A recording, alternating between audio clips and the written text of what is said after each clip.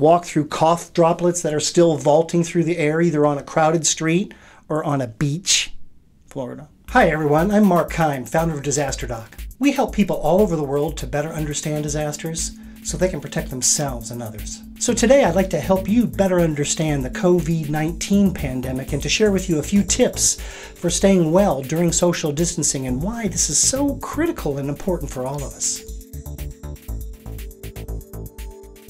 The first step to protecting ourselves is understanding how COVID infection occurs. This virus needs to float in a warm bath. This warm bath is actually body fluid, and it needs this in order to survive. So it's more likely to travel to you as in the form of a droplet. So people are said to be exposed when they come in contact with the droplet. So where do these droplets come from? They come from inside infected people's lungs. People come in contact with these droplets either by direct exposure or indirect exposure. But how do we stop the pandemic? We need to stop people from touching and breathing these droplets. Tip number one, stay the F home. Like the science shows, avoiding exposures is the single most effective way to avoid infections and end this pandemic even if you have no consideration for your own health or that of others, the longer that you decide to socialize in public, the longer every one of us will have to shelter in place and wait for this pandemic to end. And if you do need to go out, avoid exposing yourself. Some of us can't stay home, right? Some of us have to work in public, and some of us even work directly with the public. So, what can we do to protect ourselves and to protect our loved ones at home who are depending upon us to not bring home this infection? We avoid those direct and indirect exposures that I mentioned earlier. For a moment, I want you to close your eyes and picture this six foot bubble around your body. Your skin is clean, your breath, even your cough, is virus free.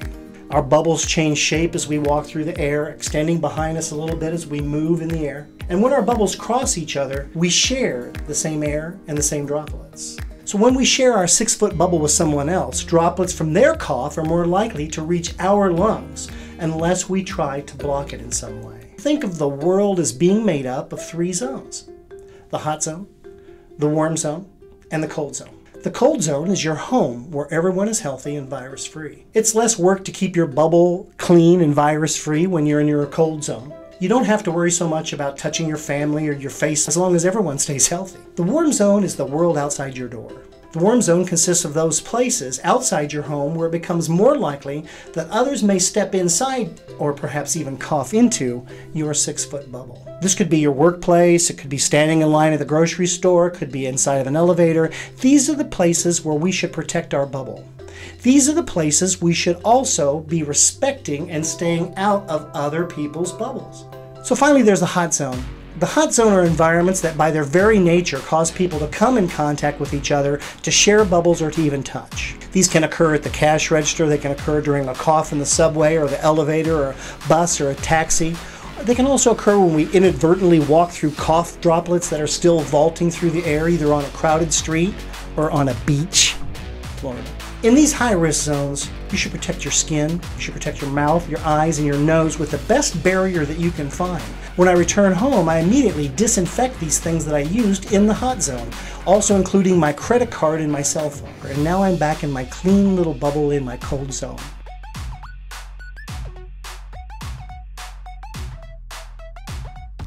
So mistake number one, people are still shaking hands. Two weeks ago, I attended a business meeting, a public health meeting where people were still shaking hands and hugging.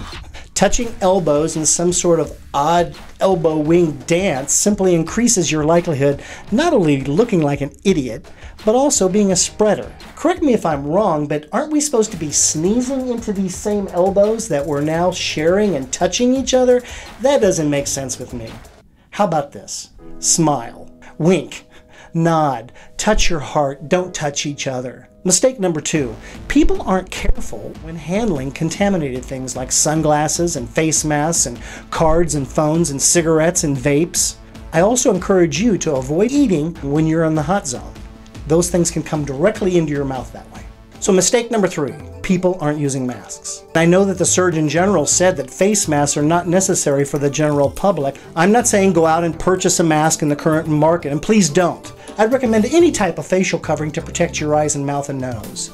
Even a handkerchief over your mouth is better than receiving that full viral load of a cough directly in your face. Dr. Julie Gerberding, the former director of CDC, has said that even a t shirt over your mouth and nose would be better than nothing. Now, mistake number four people of privilege are being insensitive to a minority.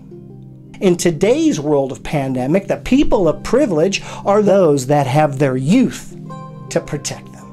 How can we justify behavior that hurts the most vulnerable? We can't. We are in a crisis, and if you can reach out, you can literally save the lives of vulnerable populations by protecting them and preventing them from ever contracting this illness.